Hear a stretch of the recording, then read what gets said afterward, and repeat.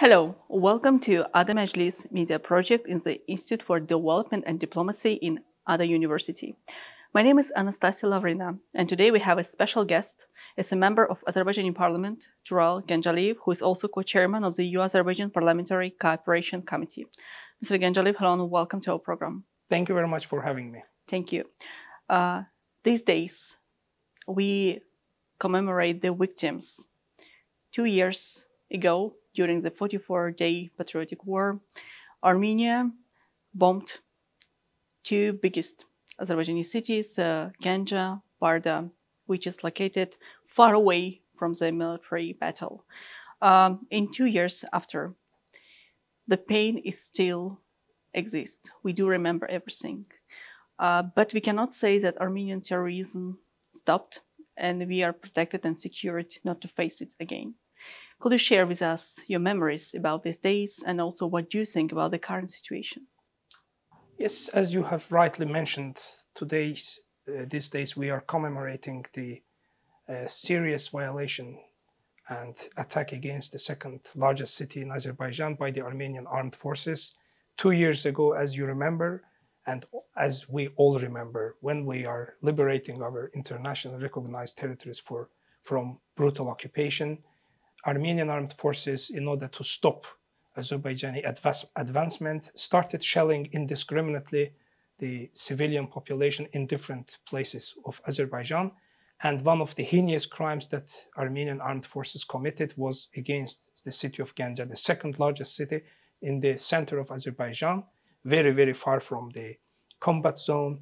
Unfortunately, this demonstrated how uh, heinous crimes that Armenian political military leadership uh, can commit, uh, nevertheless, of the situation. And uh, as Armenian forces attacking Azerbaijani cities, they were committing, of course, the war crimes, crimes against humanity. As we know, there are special category of crimes in international law, in international humanitarian law. The very gross violation of the international law is the same war crimes that we have seen. Unfortunately, this is not only, uh, uh, we are talking about the ongoing uh, the, the, war crimes against Azerbaijanis, against Azerbaijani state and people, and still we are suffering from the mine problem. Still, even today, we have received very sad news that the car of the embassy of Azerbaijan was shot we don't know exactly who did it in, in, in Washington. States. Yes, in, in the United States. We don't know uh, still who is in behind uh, of this crime, but it is very clear that uh, Azerbaijani uh, civilian infrastructures, Azerbaijani civilian population have been uh, the target of uh, terrorists for last three decades. Well, let me ask you an additional question yes. about diplomats. As you rightly mentioned, the car of uh, Azerbaijani embassy uh, in the United States of America was uh, shot at night. And, uh, you know, if we follow the history during the last three decades, we know that there are special uh, groups, radicals, uh, Armenian radicals who live in different countries, and Azerbaijani diplomats become the first targets. And even today, when we speak uh, at the official level with the Armenian government about the possible coexistence, about the importance to sign peace treaty, uh, from your diplomatic experience, do you think that there is a special threat uh, against our diplomats in different countries may appear from those groups who do not want to see long-lasting peace establishment in the region. Absolutely, there is a threat against Azerbaijani diplomats, against Azerbaijani embassy personnel, against the premises of Azerbaijan in uh, different countries. We have seen recently the attacks against of Azerbaijani embassies in France, in Lebanon, in different European countries. Now, this time in Washington, um, so it means that we, of course, we uh, are ready for peace. We are ready for the peaceful coexistence as uh, two nations in the South Caucasus. We are ready for peace. That's why we are reconstructing and rebuilding liberated territories. And this is the, our manifest that we would like to achieve this durable, just peace as soon as possible. Uh, now we are in the new reality. The conflict is over. Now we are working with uh, hopefully uh, with Armenian side that they will agree finally to sign final peace deal. But at the same time, we have to be very vigilant. You know, uh, yesterday's attack against Azerbaijani embassy in Washington against the car, demonstrates that uh, nevertheless we have to be very cautious uh, and uh, the security of personnel of Azerbaijani diplomats working in different countries must be provided and we have to be very vigilant because uh, as a diplomat I, I, have worked in Canada, in Czech Republic, sometimes we saw radical Armenian uh, organizations uh, disguising under different names, attacking even uh, many, many years ago Azerbaijani uh, embassies, different kind of events. They were trying to provocate, you know, this kind of um, uh, negative um, uh, negative steps that we have seen many times from Armenian so radical this is like a systematic character. Systematic, yes, exactly. We should also remember the beginning of 19th, so the first Karabakh War, which resulted in the uh, occupation of 20% of Azerbaijani lands, Khojaly genocide, and many other acts uh, genocide committed by the Armenian sides. And after, in 2016, different attempts to provoke the situation. And finally, as we already mentioned, Ganja, Barda, Terter, and many other destinations which were targeted during the 44-day um, patriotic war, which resulted in the restoration of territorial integrity of Azerbaijan. So my next question to you, from the perspective of international law, why do you think there is no enough attention to the problem which Azerbaijan face even now. It's Armenian terrorism, it's a mass graves which we discover on our liberated lands, and this is also mines, the mining process which takes a lot of time. Absolutely, you are you are right that uh, uh, regarding the the conflict, uh, previous conflict between Armenia and Azerbaijan, and currently after the post-conflict in the new realities, we are still facing these uh, problems, war crimes, the consequences of the war crimes committed against Azerbaijanis. But unfortunately, uh, the reaction of the international community, of the international organization are not sufficiently enough, and they are not based on the justice in, on the international law. Um, if you want, we can call it double standards. Sometimes it is negligence, negligent uh, uh, attitude towards uh, from the international organizations. So we would like to draw attention of the international community right now with your question to the problem of the consequences. Though we have liberated our international recognized territories, the conflict is over, but still we are facing those challenges. You have uh, mentioned uh, mine problems. There are still around 1 million mines implanted by uh, Armenia. Still, uh, after the end of the conflict, after the signing of trilateral statement in 2020 on 10th of November, we have lost 250 people uh, killed and wounded. Uh, still, there is no any reaction from the international organizations. We also, like you have said, uh, many uh, previous attacks against Azerbaijan. Armenians committed war crimes, and we would like to draw the attention of international organizations that there must be international tribunal established. And if we would like to see justice prevailing, we have to uh, bring those responsible people who committed these crimes before the justice. You know, in international law, there is a, a state responsibility. As we have mentioned, for the 30 years, Armenia uh, is responsible as a country, as a state. At the same time, there is a criminal individual responsibility, not only states, but uh, specific persons who ordered, who commanded uh, these uh, attacks against Azerbaijani civilians. They also must be brought uh, before the justice. Uh, this is very important. Criminal individual responsibility uh, must be, uh, um, we have to pay attention.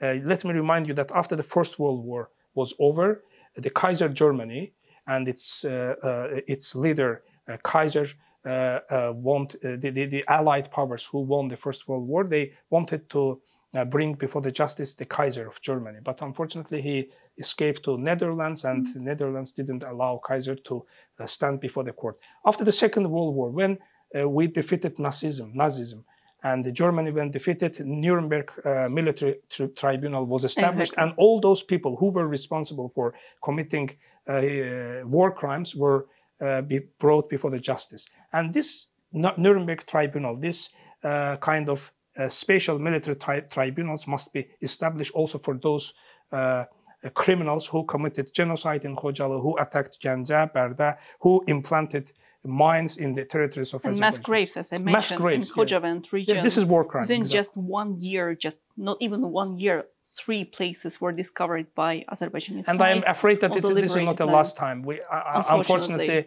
yeah, I, my estimation that we will uh, still uh, we will um, uh, we will uh, discover this kind of graves because still there are 4,000 Azerbaijanis missing. There, there is no and there information. Is no information and about that. Hope, uh, probably all these Azerbaijanis were executed and they were buried in mass graves that we have already discovered in different places in the liberated region. Unfortunately, uh, Mr. Ganjaliyev, another very important issue I would like to ask you. Just recently, uh, during the meeting in Prague, in Czech Republic, um, President of Azerbaijan, Ilham Aliyev, had a chance to meet uh, with uh, Prime Minister of Armenia, Nikol Pashinyan, with the participation of French leader Emmanuel Macron and Charles Michel. In that meeting, it was agreed that two sides recognize the territorial integrity of each other, which is very important. By doing that, Armenia recognized that Karabakh is an integral part of Azerbaijani Republic. That means that during all of those three decades, Armenia recognized its own occupation of Azerbaijani lands and that gives the right to Azerbaijani side, as you mentioned, to bring the deal before the court of international court, and all of those committed the crime in Armenia should give their responsibility. Can we use this opportunity to bring responsible for this? Yeah, very good, interesting question. Yes, as you said, uh, Armenia uh, in Prague meeting, uh, not only Armenia, the quadrilateral meeting, and as a result of which the statement was adopted, all European community and especially uh, Armenia recognized uh, the territorial integrity of Azerbaijan, and there is also a special reference to the United Nations Charter, which directly says that the there is a territorial integrity, sovereignty of each countries, and uh, the, the, the countries must recognize reciprocally each other's territorial integrity. So this is very good news for Azerbaijan and for the world community.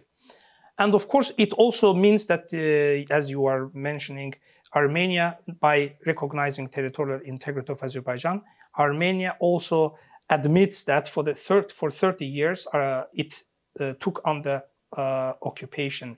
It occupied and took under its uh, occupation the territories of Azerbaijan, and uh, consequently, Armenia must pay reparation uh, because of the war crimes that it committed and also because of the occupation that lasted for three decades.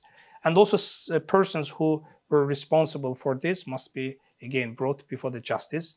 And at the same time, just I would like to uh, mention that uh, in neither in the statement nor in any oral statement delivered after the Prague meeting, no the name of Karabakh or the residents of Karabakh was mentioned in any statement because it demonstrates that it is solely internal issue of Azerbaijan.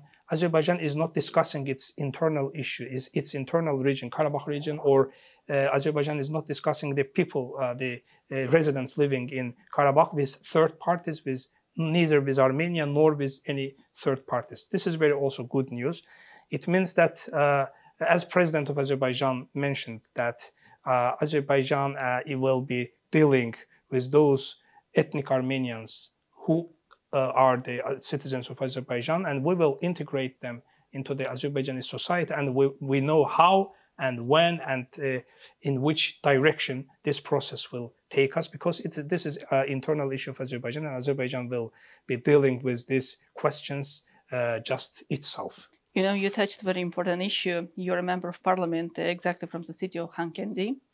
And uh, if I'm not mistaken, uh, you also speaking um, have a chance to receive some messages from ethnic Armenians who are living in Khankendi at the moment.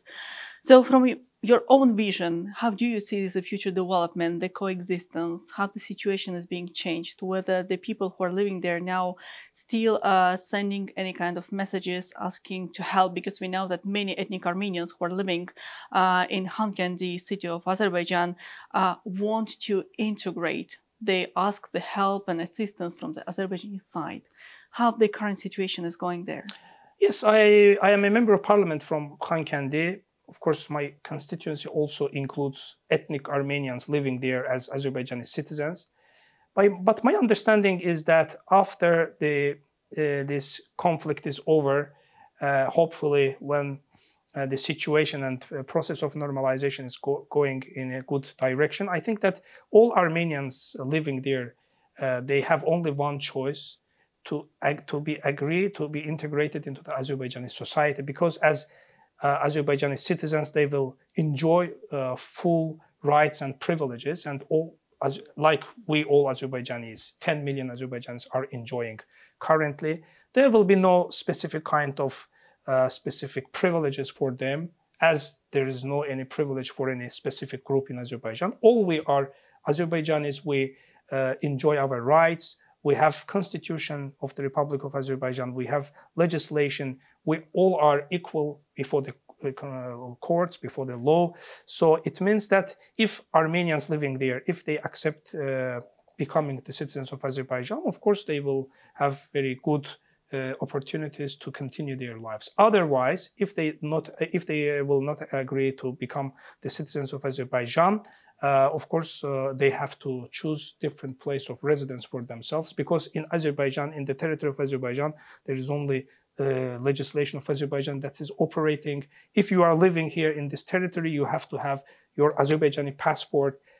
And by the way, we are talking about those Armenians who were living there uh, before the 1991, before the Armenian aggression started. So all those people who uh, illegally were transferred to Karabakh region after 1991, excuse me, they are uh, illegal residents and they have to go back to their uh, original places. Or the but, Armenian government has to take responsibility yes, over exactly. these people.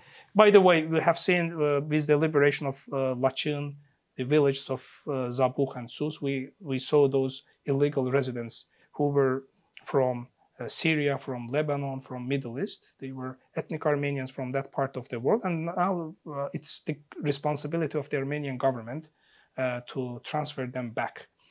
Uh, I think that yes, again, uh, th there is a there are two uh, options. Either you become the citizens of Azerbaijan, live according to the laws of Azerbaijan, or you can choose the, any place of uh, residents in different countries. And by the way, in the Republic of Azerbaijan, there is all the, there are people uh, only uh, having Azerbaijani citizenship with Azerbaijani passports. And if, for example, in case there are any there are people who are without citizenship, of course, we have legislation also dealing and um, uh, dealing with the problem, and all these issues will be addressed uh, uh, with its own way. One final question I have to you we know that Azerbaijan is very active on the international arena. There are so many uh, visits, trips. Uh, Mr. President Ilham Aliyev uh, has almost every week. Coming back from Prague, uh, other week, uh, Mr. President went to Central Asian countries. He visited uh, Kyrgyzstan and Kazakhstan. Uh, very important visit. And in all meetings, it's being highlighted that Azerbaijan is growing economically. It takes uh, advantage with its uh, geographic position. Everybody is speaking about importance to develop infrastructure, open new projects, energy cooperation, and etc. How do you see the future of this uh, Azerbaijani development on the international base, on the international arena? How do you see the other partners from Europe, from Central Asia countries do you see the future development of the partnership with our countries, which particular moments we may expect, and whether we should expect additional question to you that the international community will make all possible things to make sure that in the nearest time the long-lasting peace is established in the region of the South Caucasus. Uh, Azerbaijan is uh, becoming very important player not only in the region in the South Caucasus and beyond South Caucasus, we are seeing the increasing role of Azerbaijan in the European continent as a reliable partner. Azerbaijan provides and contributes to the energy security of the European Union. Also, Azerbaijan has very important and very uh, constructive relations with its neighbors. Uh, the only uh, the case that is Armenia, which hopefully will be uh, after the signing of uh, peace treaty, we will also have good normal relations. The process, the, the relations will be normalized. But otherwise, uh, Azerbaijan is very important player in the region and beyond. And also, you have mentioned Azerbaijan is conducting very proactive foreign policy. The president of Azerbaijan is uh, visiting uh, different platforms, different international organizations, and now uh, Central Asia is also one of the important direction uh, for our proactive foreign policy. That's that means that Azerbaijan is becoming a hub, you know, connecting east with the west. All these important energy uh, transport links are passing through Azerbaijan, and not only energy security, also the uh, transport links uh, are very important. Uh, now, because of the geopolitical situation in the world, now Azerbaijan is becoming the importance of Azerbaijan is becoming even more uh, increasing, and that's why we expect that uh, with this, Azerbaijan will have positive uh, leverage, positive impact not only in the region and in also with its neighbors. Uh, so it means that again, um, international community also must be interested in having durable, just uh, peace, stable situation in the South Caucasus. And uh, it only means that uh, without Azerbaijan, you cannot have uh, any important uh, project or important issue addressed. So Azerbaijan is the center of the hub, and we hope that our, the role of our country it will be becoming more important even in the near future. Well, Mr. Ganjaliyev, thank you so much for joining our program today and sharing with us your experience. It was a pleasure to talk with you. Thank you so much. Thank you. My pleasure. Thank you.